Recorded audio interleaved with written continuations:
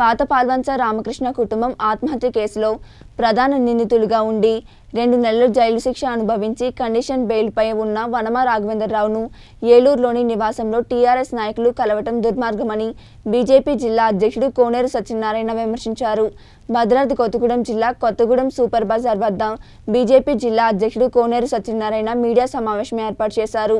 ముందుగా ఆయన ఆత్మహత్య చేసుకున్న రామకృష్ణ కుటుంబ సభ్యులు చిత్రపటానికి నివాళులర్పించారు కుటుంబానికి న్యాయం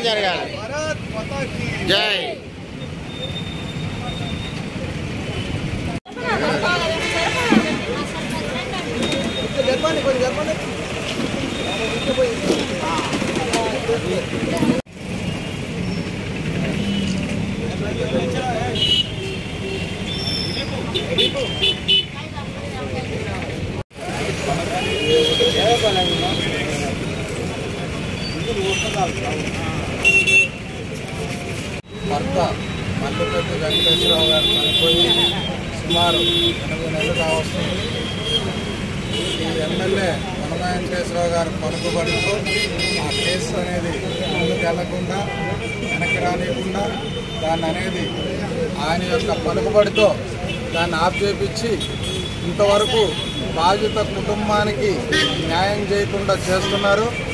అయా కేసీఆర్ గారు ఇటువంటి దుర్మార్గులని మీరు వెనకేసుకొని వచ్చి ఎన్ని కుటుంబాలు ఇంకా చనిపోవాలని చెప్పని మీరు చూస్తున్నారు.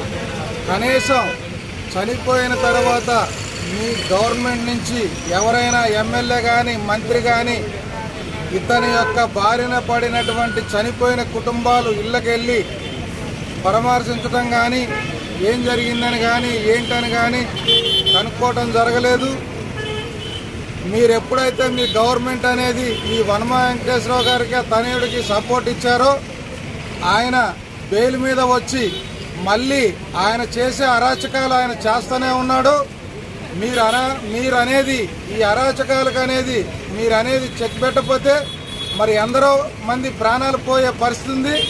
కాబట్టి మా యొక్క మా బామ్మర్ది మా చెల్లెల యొక్క భర్త కేసు అనేది ఇమ్మీడియట్గా ఎంక్వైరీ చేసి అతనికి అనేది మళ్ళీ జైలుకు పంపించి ఏ విధంగానైతే డేరా బాబాని జైల్లోనే ఉంచి ప్రత్యేక కోర్టు నియమించి కేసు ట్రయల్కి తీసుకొచ్చి అది కేసు ట్రయల్ నడిపించి ఆ మనిషిని అనేది శిక్ష వేస్తే తప్పితే ఈ కొత్తగూడెం నియోజకవర్గ ప్రజలకు అనేది సుఖశాంతులు అనేది ఉండవని నేననేది చెప్పదలుచుకున్నాను.